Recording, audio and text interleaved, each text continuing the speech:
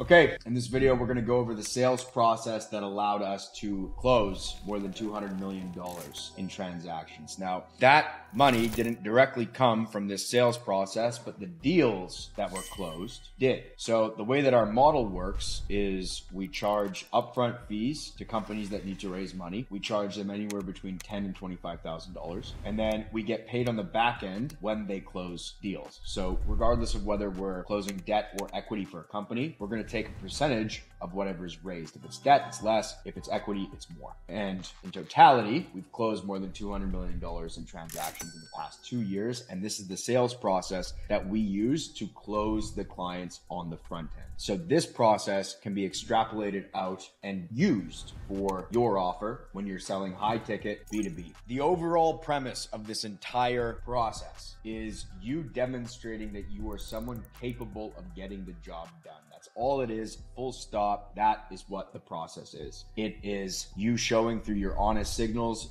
through your body language, as well as your communication skills that you are someone who is intelligent, can solve problems, and is going to work hard. Those are the things that you are trying to convey. Now, there's some things that we need to address in terms of how you are going to position yourself relative to the client or relative to the prospect. Oftentimes, if you're going into an industry that's upmarket, you are going to feel as though you may not be an adequate person to be in that conversation. There's some internal conflict that's occurring. And the way that we combat this is not only through your belief systems changing, and that's a whole other topic for another video, but an easy way that you can implement some basic things that will increase your status is simply by where you are sitting during the call. The clothes that you're wearing. Now, obviously, you're probably not going to have a background like this on your calls, but the closest you can get to this, the better. Basic grooming, basic hygiene, making sure that the lighting is correct. If you have a watch that you can wear, something that potentially looks expensive if you don't have one already. All of these things are going to stack up in your favor. And I touched on honest signals already. Honest signals are your eye contact, your communication skills, your tonality, your body language. All of these things are what you refer to as honest signals. Why? Because as humans, we pick up on them and we can see the truth behind someone's eyes and behind what someone's saying when all of these things are in alignment.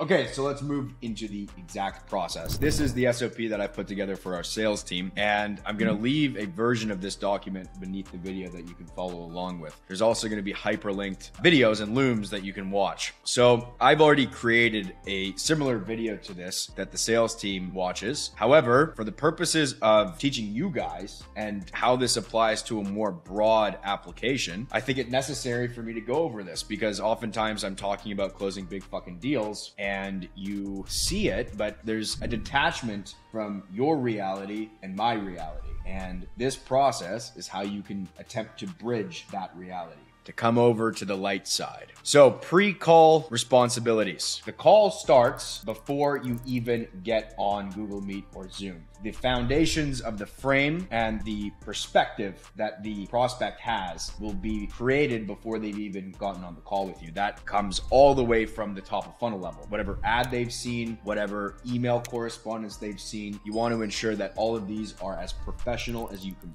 possibly make them because those are the first impressions that you are making on the prospect. Now, if you've gotten them to the point where they've agreed to get on the phone with you, you've done something right, but you always want to be optimizing at that top of funnel level. What happens thereafter? It's the pre call stage. So you need to ensure that your materials that are going out are very professional. If you have an offer that's already built out, you need to make sure that you have professional materials that are going out. The thesis video or the long form BSL that I show people before the call, the indoctrination video, I have on YouTube. And that's the only video on this last page of the funnel. Why? Because I want them to click on YouTube. I want them to go and watch other videos. You can see here, they come in here, they can go to the channel and you can see these videos don't have a lot of views. It doesn't matter. Point is, the right people are watching them. We have interviews with clients, one for 21.5 million, one for 10 million, and then I've got the longer form videos that they can watch going over case studies and past experience, etc. So you want to make sure that all these materials are as professional as you can make them. I also have the sales letter that people go through. People don't read these, but it's good for them to see that you've actually thought through your process and you have something to back it up. So these are the materials that go out prior to the call, and they are of vital importance because, again, it pre frames the engagement. What you do when you're setting the call, you need to have a setter confirm the call if they book themselves, or you have a setter that books the call, and you need to ensure that you've gone over time frame for also results, what the expected results can be, and pricing. Pricing needs to be discussed prior to the actual call. Because if a prospect doesn't even have the money for a high engagement fee, then there's no use in you talking to them. So we always ensure that we have the pricing in the ad or the email at the top of funnel level. And then it's also reiterated during the setting process. Because that way we ensure we're only speaking to people that have the fucking money. And obviously you need to confirm the appointment. You also need to ensure that they understand to go through as much of the materials that you're going to send out prior to the call as possible because this will mitigate your need to answer tedious questions. Your job on that call should just be to ask questions, give a high level overview of what you do, and then proceed into the closing. That's what it is. Again, it's an explanation of your ability to provide results. That's what it is. When you're selling high level, they're sophisticated buyers. You don't need to worry about future pacing. You don't need to worry about objection boxes. You don't need to worry about objections. There are no objections. The only objection they have is they don't trust you. That's all it is. If you get objections. So how do we ensure that we're in a position where those don't even occur? It happens through those pre-call materials. And I'm going to show you some more information that you can send out as well. So now we got to dive into the actual call. I'm going to show you the structure that I've laid out for the discovery call. Now, the process that I use is a two call process. Now, I've got students and I've got guys on our team that do one call. I like multiple calls because when we're dealing 20, 25K packages, it doesn't matter if the sales cycle is three weeks. If you're taking 10 calls a day, you've got three week sales cycles, you're still making more than enough money. It shows that you do not need their engagement. It shows that you are coming from a place of abundance, that you're not needy. And it also makes them more comfortable because I want there to be as seamless of a process from them transitioning from the close into them becoming a client. I don't want them to be rushed. I want it to be as hands off as possible. I'm doing these calls, but I want them to close themselves. I want them to be fully bought in and ready. That's how I approach sales. And what I found is two calls is more than enough to get this done. By the second call, halfway through, they're ready to get going. They say it themselves. All right. And that's what I'm going to show you in this process. So you first start off with brief small talk and then you transition to context. So the small talk is literally a few sentences. Where are you calling from? If you know anything about that city, you talk about that. And then you immediately transition into context. Context is why they're there, how they are there. You saw an ad, you responded to an email, what information have you seen so far? And then from there, you're going to frame the call. Now, the way that I frame the call is essentially this. This is the basic sentence that you can use to immediately take control of the call and the conversation. You say, I've done some research on your company prior to jumping on with you here today, but I think for context, the best place to start is maybe you just give me some information about your company, background, etc., and then we can go from there.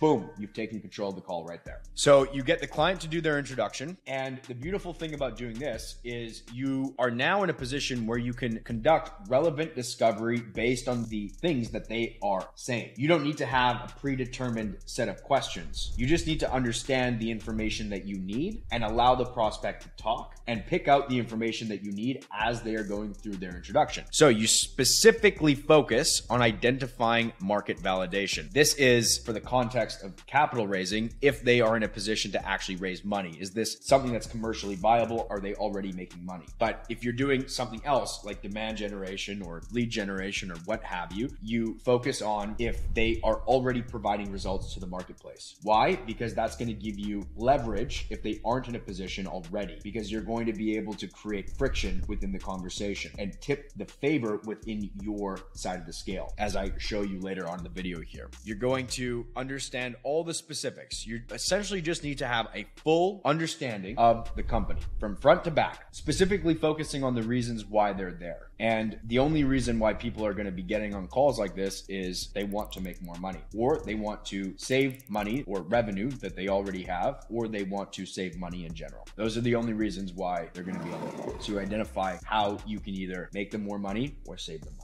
That's all you're trying to do. Now, I discussed friction already here. So, you want to introduce reasons why the interaction or engagement would not work. The reason why you're doing this is because you're purposefully trying to get them to qualify themselves to you. So, in the context of capital raising, if someone said that their valuation was $70 million in their pre revenue company, that's going to be very difficult for an investor to palate. So, you say, okay, where'd you get those numbers from? Do you have audited pro formas that were done from an investment bank? No? All right. You have no revenue. This is going to be difficult to do. You've been trying to do this yourself. For how long? How's that been working? What conversations have you been able to garner from the efforts that you have? Okay, you've been trying for a year to do this. You only have a few people in the pipeline and things aren't going very well. Okay, got it. And you don't have any previous investors. Okay. I have forced them to qualify themselves and be clear on the position that they're actually in by introducing the friction. This is where you ask the harder questions. And I sort of tied in what the current efforts are as well. But you essentially talk about the things that they're doing to solve the problem that they currently have or to generate money in the topic of discussion. Now, these are very specific to capital raising. However, you essentially just need to get, as I said, a full accurate understanding of where the company is in your mind. And then you can move on to Q&A. The easy way to transition to this is I've sent some material over to you prior to the call. Did you get a chance to review it? If the setter did his job, he would have ensured that they already did prior to them even getting on. You know that they did. You just want to get them to say yes and then to ask you questions about the engagement. If you do everything correctly, they're going to start asking you questions like, okay, how much is the engagement? What's the onboarding time like? What are the expected results? And now all you're doing is talking logistics. So eventually they're going to ask you what the price is. When they do that, you say it's going to be in a range. You don't say a definitive price. You say it's going to be between 5 and 15,000, between 10 and 15, between 15 and 20, 25, etc.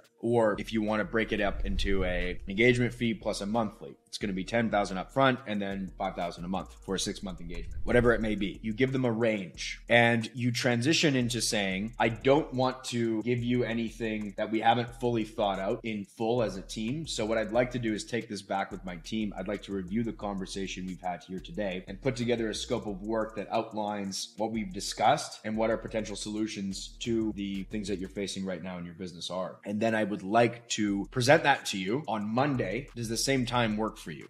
And boom, you schedule the next call. And that is how you end the discovery call. So what do we do thereafter? Well, we send out post discovery email and we are trying to mitigate any of the questions that they may have on the second call by sending out more of this information. So we're going to send out interviews. We're going to send out case studies. We're going to send out presentation. We will send out our business registration. And if it's a very good prospect, we will send out a list of references before them even asking us for them because we want to ensure that whatever they need to take care of on their side can take place as quickly as possible. So we front load all the questions that they may have and information that they may want to see and give it all to them without them asking right after the first call. Because that way they can go through it as a team. And oftentimes when people ask you for references, they don't even call them or they ask you for case studies, they don't even go through them. They just want to see that you have them. It's a shit test. So just by sending them ingratiates you with the prospect. It increases their confidence in your ability to get the job done. Because if you do it correctly, if you communicate everything correctly and you're asking intelligent questions, your line of questions is logical or your line of questioning is logical, then you will have illustrated that you are someone who is in a position to actually provide the results that you are saying that you're going to get. So when we send this post discovery email template, we are trying to ensure that we take care of any things that may arise after you send the agreement, after you agree to price, and they're like, oh, actually, let me speak to a couple references. We don't want to have that happen we send it right away. All right, so now we move on to the closing call. So the closing call in its simplest form is just to answer any questions that they have about the process that you are going to unfold for them, but your program, but your offer, your service, how you're going to provide results. You are just demonstrating a further explanation of how you are going to get the job done. That is all you're doing on this call. So you would have already sent over the post discovery call materials and an agreement, potentially scope of work, whatever it may be. And when you jump on this call, again, you do the small talk, you do the, the context, and then you set the agenda. And essentially you say, listen, we've discussed most of the things that I needed on my end on the previous call. Really, this call is just set up for us to have a discussion about anything that you need to get clarification on and any questions that you have. And then from there, you dive into the main questions. You answer the main questions that they have and you elaborate on the strategy. So you would have given them a brief high level of what you do on the previous call. And on this call, you are going to go into more context. You're going to make them more confident in your ability. From there, once you feel as though you are at a point in the conversation where it's appropriate to ask, you say something along the lines of, How would you like to proceed from here? That is the line that I always use. How would you like to proceed from here? They understand what that means. So either you ask that or they naturally just get to a point where they're like, Okay, let's do this. How, what are the next steps here? So you say, Great. What we would do is send over an agreement that outlines everything that we've discussed in terms of the engagement. We'll send you over the wire information. You take care of that wire, and then we're going to send an onboarding email for you to take care of some action items that we need from your end, and then also to schedule in a call with our team to make sure that you're onboarded onto the program. And the build out of the system will take at least two weeks to get set up. Sometimes we can get it done within a week, but just to set the expectations correctly, it'll be about two weeks. And then you proceed as necessary from there. Now, it seems as though it is quite easy. And the answer to that is it is. The process is easy. The hard work occurs when you are creating the offer. That is where the hard work happens in here and in the testing. Because when you have something that the market actually wants, it's a lot easier to close them. It's a lot easier. And that's the reason why I have this process. It's a framework. It's a framework that you can use. It's not a script, it's a framework. And you don't necessarily need to follow this to a T. It's not something that is rigid. So, the document will be beneath this video to review. You can see that there are call recording examples of me going through this process and closing into calls. So I would recommend you go and watch those after this video because you can see how the master gets the job done. One thing I'll leave you with is this. It's imperative that you sharpen your communication skills. There are several ways that you can do this. The first of which is by going to an acting class. This may sound crazy, but believe me, it'll help you a lot acting class. You can go to Toastmasters. You can practice public speaking in any way that you can have access to. You should be auditing your communication, filming yourself, watching back your calls, making note of how you can improve the way that you say things whenever you say the wrong word. How can you iterate in the future to ensure that you are communicating your clear message as concise as possible? Because this is a superpower. The selling is your communication. You don't need fancy tactics when you can communicate communicate. There are many books written on communication that you can also read. So, communication is the precursor to selling because all selling is is communicating how you are going to provide value and results to another person. That's all it is. I'll see you in the next video.